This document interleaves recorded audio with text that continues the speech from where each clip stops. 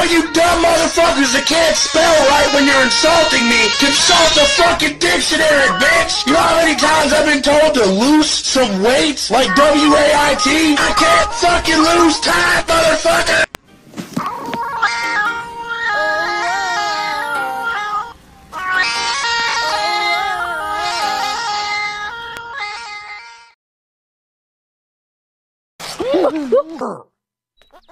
For all you dumb motherfuckers!